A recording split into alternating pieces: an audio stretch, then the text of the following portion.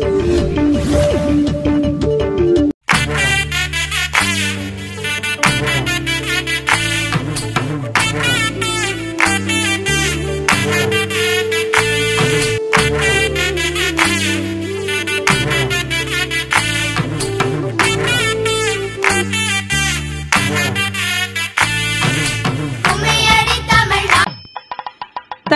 பிறந்தால் வழி பிறக்கும் என்பது ஆன்றோர் வாக்கு.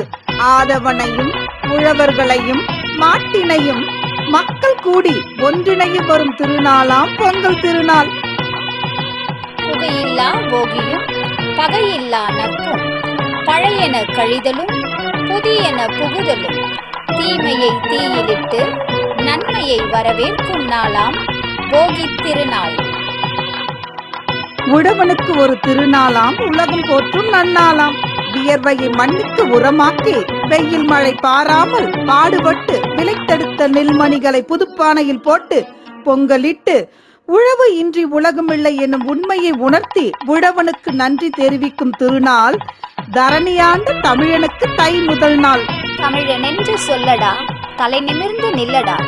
உழவனின் தோழனாம் மாட்டினை போற்றிட விரட்டி வரும் காளைகளை விரட்டியடிக்கும்.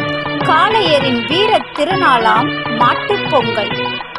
காணும் உறவுகள் எல்லாம் நம் சொந்தங்களாக கருதி சந்தித்து மகிழ சுற்றத்தோடு கொண்டாடும் நாளாம் காணும் பொங்கல் திருநாள். பொங்கலோ பொங்கல் பொங்கலோ பொங்கல்.